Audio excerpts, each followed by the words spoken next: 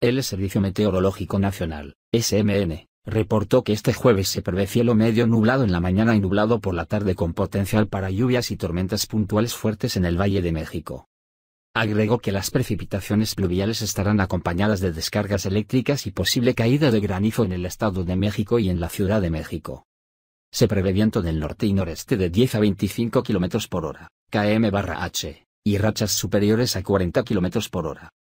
En la Ciudad de México se prevé una temperatura máxima de 24 a 26 grados Celsius y mínima de 13 a 15 grados.